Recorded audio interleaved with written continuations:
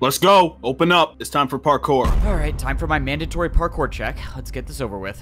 You're late. You know the deal. You can do the one block jump for the raw chicken, or you can attempt the one block vertical jump for the beef. Here in Parkour Civilization, no one chooses to jump for the beef. It's better to be safe and do the one block jump for the chicken rather than risk your entire life for just half a hunger bar more. Tomorrow, you better not be late, or you'll be doing two block jumps as punishment. Yes, sir. Sorry, I won't be late next time. Down here, us parkour noobs only get fed once a day. One piece of raw chicken is just enough to get you to the next day. But that's the life of Parkour Civilization. If you want to survive, you have to parkour. Every parkour noob has the same goal, and that's to make it to the top layer where all the parkour pros live. Except most parkour pros are born on the top layer. If you're a parkour noob, there's only one way up, and that is through the Temple of Parkour. The Temple of Parkour is the only structure in the world that combines the bottom layer to the top layer. To make it up, you have to do an impossibly hard parkour course that no parkour noob has ever completed. And that's assuming you even get the chance to complete the course. The inside of the temple is protected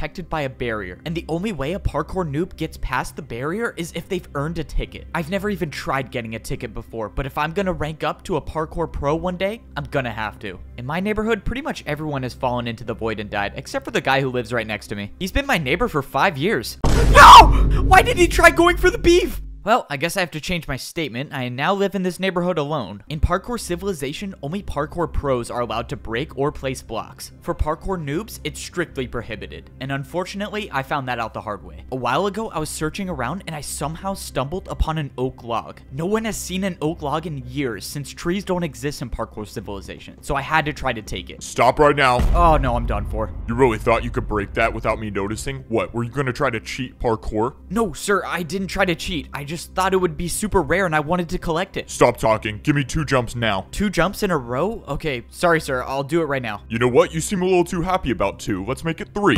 Okay, I'll do three. You know what? Now let's make it four jumps in a row. Ah, four in a row? Come on. In Parkour Civilization, it should be no surprise that all punishments were just more forms of parkour. And that was the last time I ever tried breaking a block. You're lucky you got a light punishment. Don't forget you're at the bottom, so follow the rules. It's safe to say that if you're at the bottom level of Parkour Civilization, it's not exactly the best. But not everything in Parkour Civilization is that bad. For example, I was able to use parkour to buy the biggest house in the neighborhood. In Parkour Civilization, literally everything is parkour, and that means parkour has replaced money. Welcome.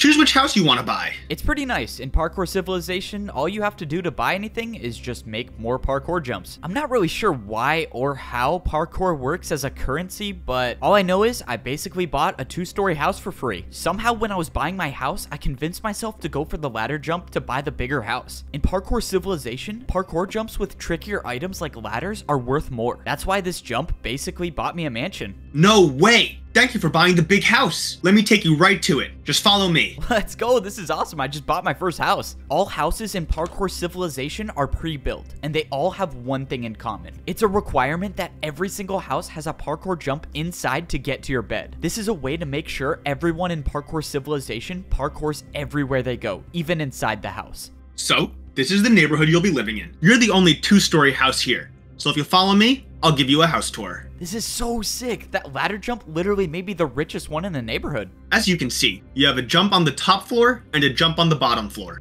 Let me show you the upstairs, and then the house is all yours. All right. I mean, everything looks good. I just have to do this jump to my bed. Uh, yeah, I think I got everything figured out. Perfect. Last thing, I just need to check if your parkour jump is good. How are you supposed to check if it's good? Wait, what the? Did this guy for real just jump off? Uh, I'm really confused. Is he alive? Why did he do that? All right, just wanted to confirm that your house is ready to move in. The guy did in fact die, so everything should be good. That guy seriously died? Yeah, don't worry about it. It's a part of the job. Enjoy your house. How is that a part of the job? What? No one really remembers how Parkour Civilization started. Most of the parkour noobs down here at least think that the parkour pros were the ones who started it. But the truth is, I think I was the one who started it. For some reason, I can't remember the best, but I'm pretty sure this is how the story went. Yo, see what?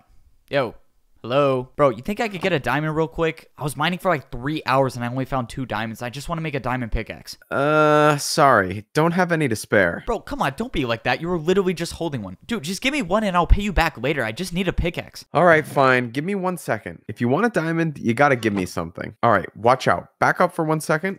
Look, if you can make this four block jump, I'll pay you one diamond. Make this four block jump. Wait, why? Why are you gonna pay me to do parkour? What do you even gain from this? Uh, I don't know. I've just never seen anyone do it before. I'd pay to see it done.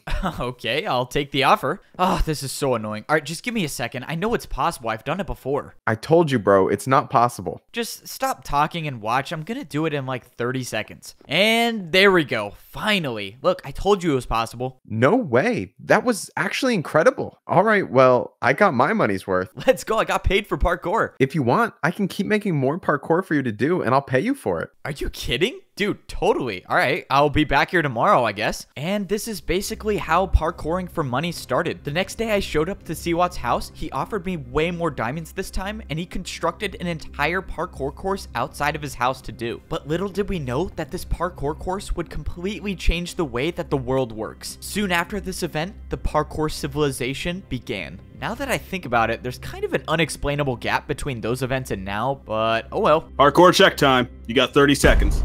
Another beautiful morning, and I have to parkour for some more raw chicken that will make me starve even more. Alright, alright, I'm here. One block for raw chicken, one block vertical for beef. What are you choosing today? Considering my neighbor just died for going for the beef, I'm just gonna go with the chicken again. Keep in mind, there's a ticket event today. It's gonna be about 200 blocks west. This was huge news. If there actually was a ticket event today, I would need to go for the beef. Ticket events are usually far away, and I would starve by the time I got there if I chose the chicken. But luckily, I got the beef. No way! You made that jump? You might become a parkour pro one day. Wait, you really think I could rank up to be a parkour pro? Not a chance. You're a parkour noob. You guys never rank up. It's important to know that parkour pros have really big egos and they like to put down the parkour noobs. This was an important day. This was only the second time I've jumped for the beef, and now I have a chance to earn a ticket. The ticket events are so risky because they're located so far away. If I wasn't paying attention, I could miss just one of these one block jumps and my entire chances of becoming a parkour pro would be over. But luckily, I made it to the ticket event. When I got here, there were only three parkour noobs in line to do the parkour course. Most noobs don't even show up for the courses anymore because if you miss one jump, you end up like this guy. And that's the price you pay if you want a ticket to be a parkour pro. I watched as the second noob fell to the void. Hey man, do you think you could go already? I don't know, man. I'm kind of nervous I'm gonna fall. No, you don't need to be nervous. I'm sure you're fine. Oh, shoot.